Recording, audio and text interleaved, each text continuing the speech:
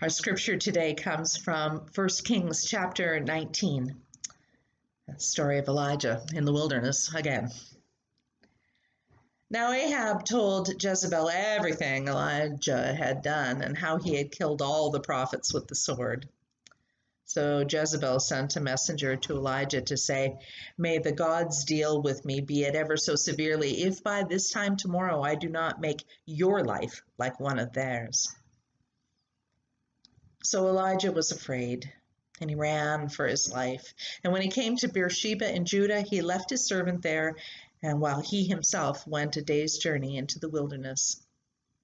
He came to a broom bush and sat under it and prayed that he might die. I have had enough, Lord, he said. Take my life. I'm no better than my ancestors. then he lay down under the bush and he fell asleep. All at once an angel touched him and said, Get up and eat. He looked around, and there by his head was some bread baked over hot coals and a jar of water.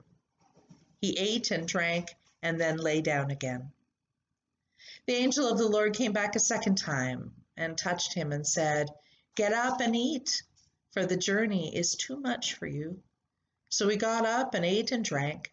Strengthened by the food, he traveled 40 days and 40 nights until he reached Horeb, the mountain of God.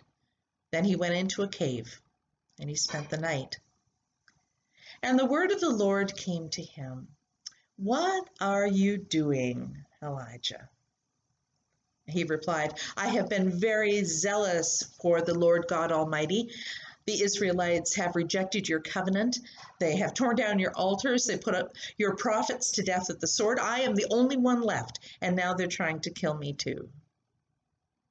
The Lord said, Go out and stand on the mountain in the presence of the Lord, for the Lord is about to pass by. Then a great and powerful wind tore the mountains apart and shattered the rocks before the Lord, but the Lord was not in the wind. After the wind, there was an earthquake, but the Lord was not in the earthquake. And after the earthquake came a fire, but the Lord was not in the fire. After the fire came a gentle whisper. When Elijah heard it, he pulled his cloak over his face and he went out and stood at the mouth of the cave. And a voice said to him, What are you doing here, Elijah? And he replied, I have been very zealous for the Lord God Almighty. The Israelites have rejected your covenant. They've torn down your altars. They put your prophets to death by the sword. I am the only one left, and they are trying to kill me too. And the Lord said to him, Go back the way you came and go to the desert of Damascus. And when you get there, anoint Hazael king over Aram. Also anoint Jehu, son of Nimshi, king over Israel, and anoint Elisha, the son of Shaphat from Abel Meholah, to succeed you as prophet. Jehu will put to death any who escape the sword of Hazael, and Elisha will put to death any who escape the sword of Jehu.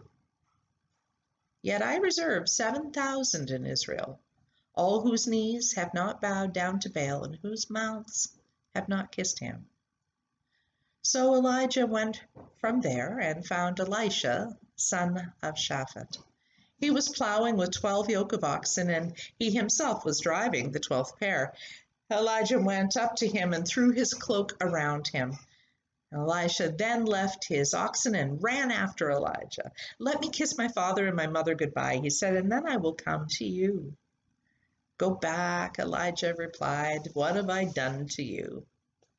So Elisha went back and left him, and he took his yoke of oxen and slaughtered them, and he burned the plowing equipment to cook the meat, and he gave it to the people, and they all ate.